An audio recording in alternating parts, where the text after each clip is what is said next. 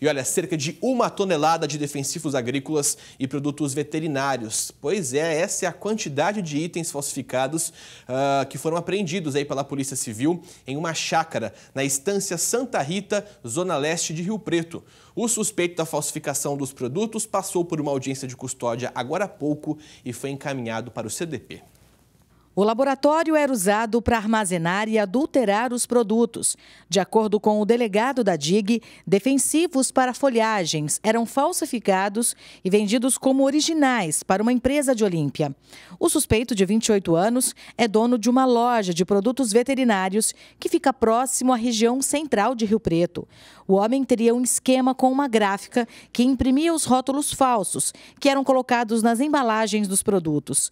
Diversas caixas com vermífugos que eram comercializados para pecuaristas sem registro e dosagem, defensivos para plantas e hormônios importados de venda proibida no Brasil também foram apreendidos pelos policiais. O suspeito está preso na carceragem da DIG. Ele pode responder pelo crime de descaminho e contrabando. A pena é de dois a quatro anos de prisão.